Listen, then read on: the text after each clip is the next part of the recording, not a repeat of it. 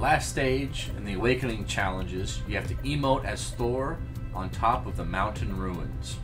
On the, it shows you where it is. It's just by Misty Meadows.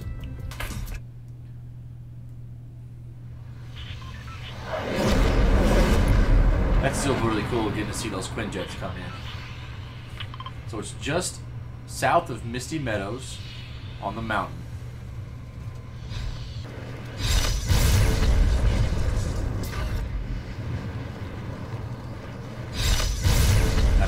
We can see we're flying over Misty Meadows.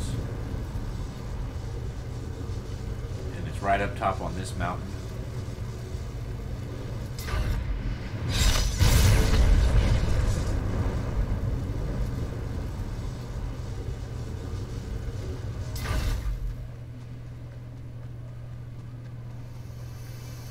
Come right up here and I do the emote.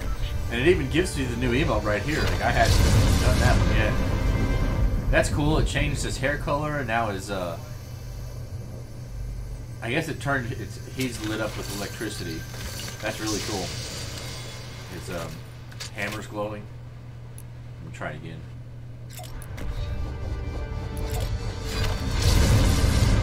goes back to normal. Alright, very cool. Thank you for watching this episode of Let's Get Better at Gaming. Please like, share, and subscribe. It really helps the channel. And you can follow me at twitch.tv slash get better at gaming. Thank you and have a good one.